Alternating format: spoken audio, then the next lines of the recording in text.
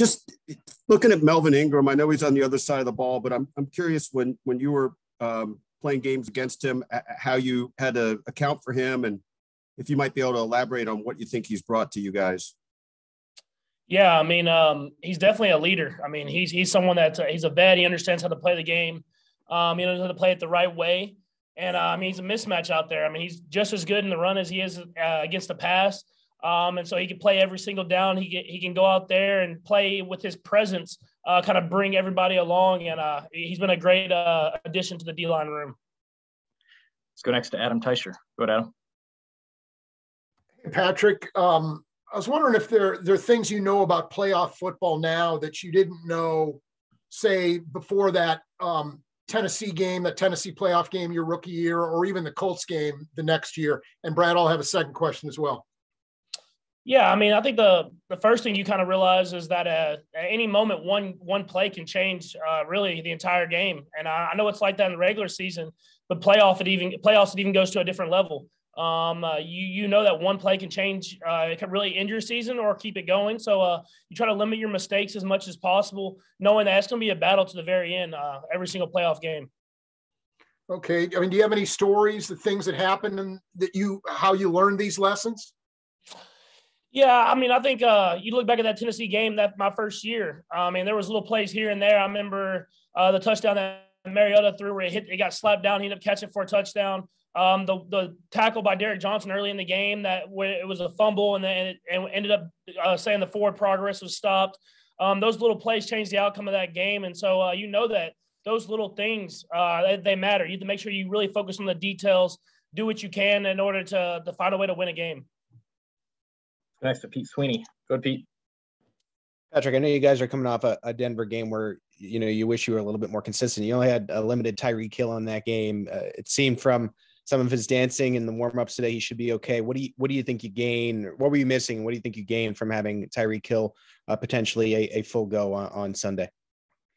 Yeah, I mean he's a special player. He makes the defense account for everybody. I mean uh, the fact that they have his speed on the field, um, it makes defenses play different coverages. Uh, they they know that they can't put him in man-on-man situations because of, of how talented he is. Um, but I thought guys stepped up. Mecole played a great game. Um, other guys stepped up, made some big catches and some big moments. Um, and that's that's the great thing about this team is whenever guys' numbers get called, they've stepped up and made plays happen. Let's go next to Sam McDowell. Good, Sam. Hey, Brad, I'll have a couple things. Um, Patrick, to follow up on what you said with Adam, I mean, just just learning those things, the finer details, and how quickly a game can change.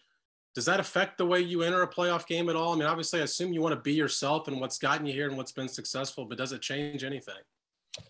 I think you just have to bring a little bit different intensity. Um, obviously you go through the same process that you would do every single week of the entire season because um, you want to treat every single week like I mean it could be your it could be your last. Um, but uh, you go you go through the week the same way, but when you get to that playoff game day, you have a little bit of uh, different intensity, knowing that every play is critical. It can really change end your season by making a mistake. Um, but at the same time, you want to be loose, you want to have fun, and you want to enjoy it because um, I mean you don't you don't know how many more of these games you're going to get in the playoffs, and I want to make sure I'm ready uh, ready to enjoy all of them. And the second one's something I asked Andy, um, but you're seeing a team that you faced in the regular season. You did that in 2019. You did that obviously in last year's Super Bowl. I realize you do that with division opponents.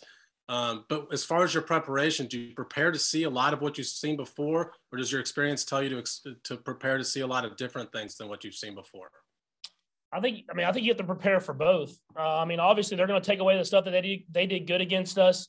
Um, and then they're going to try to change stuff that they didn't have as much success with. Um, so I mean, uh, they have a, they have a lot of good, really good coaches over there. They have a lot of really good players, um, and they've played in playoff games. They understand that how to change stuff up. They understand to go back to what they're great at. Um, and so we're expecting a, a battle, um, and we will be ready to go, and we're going to try to find answers for everything because they're going to throw uh, all different pitches to us, um, and we have to be able to respond and have success uh, as much as possible. Let's go next to James Palmer. Go, James.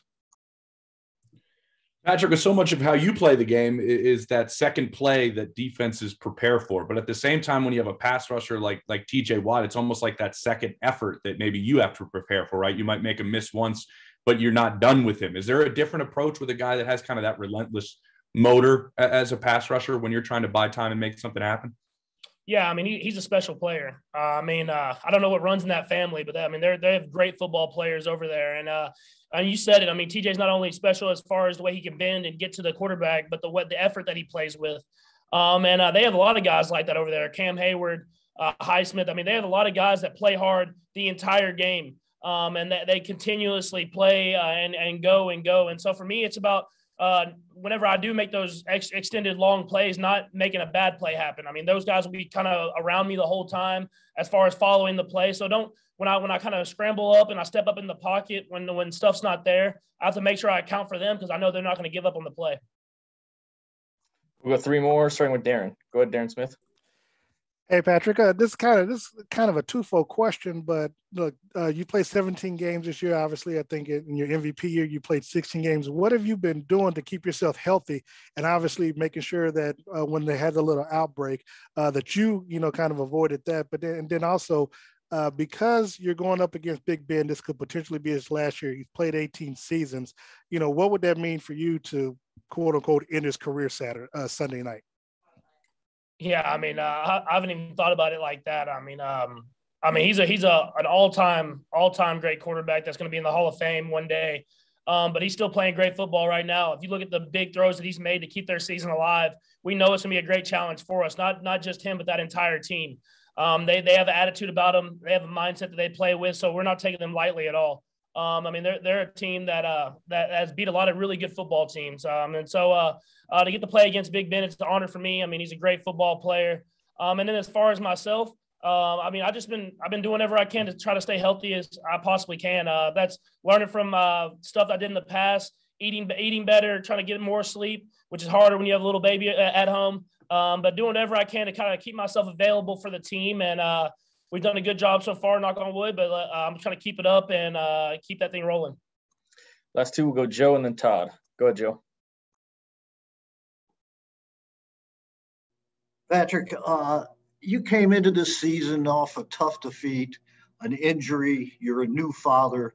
Did you approach this differently than you had in previous seasons? And I am going to have a follow up, Brett. Yeah. So, um, I, I, didn't necessarily approach the season a different way, but I've definitely learned different things as the season's gone on. Um, trying to find times where I can be at home and be with uh, Sterling and hanging out with her, um, but still at the same time getting in all the work that I have to do. So if that's getting to bed a little bit earlier um, and getting up in the building a little bit earlier, just so I can make sure that I I'm getting all the work that I've usually done and still get to spend that time with her. I mean, it's just little stuff like that. I mean, uh, I, I still have the same mindset. I have the same process that I go through each and every week. Um, but uh, trying to find those little moments where I can spend a little bit more time with her is always something that I prioritize.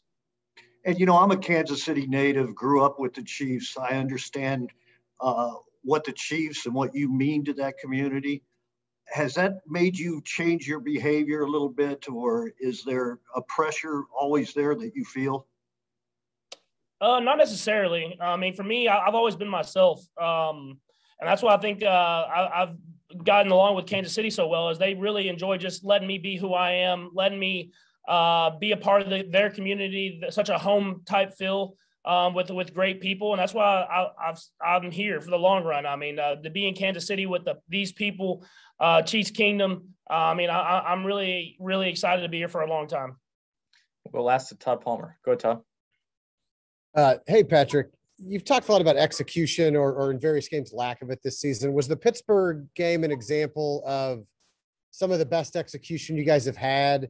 Uh, and also, kind of along with that, when you had so much success in a game like that, do you do you want to keep most elements of a game plan since it worked so well the first time around? Uh, I think with any game, it's kind of like when you play a division opponent. You keep a little bit of stuff here and there, but you have to come with a different, a different game plan for sure. I mean, uh, uh, they're gonna they're gonna go through and they're gonna watch the game plan and try to take away that stuff that we had success with the first time. So uh, we'll definitely have some some elements of it there, but we'll have definitely stuff to go off of what we had the, the week before um, um, or the, the game before.